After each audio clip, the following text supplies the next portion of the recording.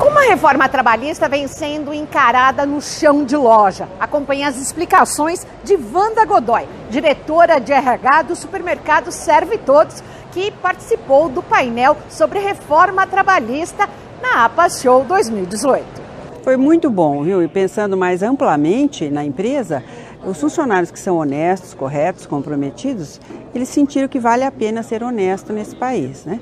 O Brasil está sendo passado a limpo e a reforma trabalhista vem, vem junto com todas essas melhorias. Em relação à meritocracia, a valoriza meritocracia também? valoriza também. Muitas vezes nós queremos premiar aquele, aquele gerente ou aquele funcionário que fez mais eh, nesse período, que ele se superou nas suas é, contribuições com a empresa e nós não podíamos. Mas agora isso é permitido sem que seja, é, sem, sem característica de,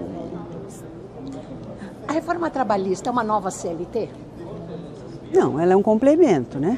Veio mexer com a CLT também, que nós achávamos que era ad eterna, é, nós achávamos que o sindicato também era perene, e de repente surge, depois de décadas de expectativas, a reforma trabalhista.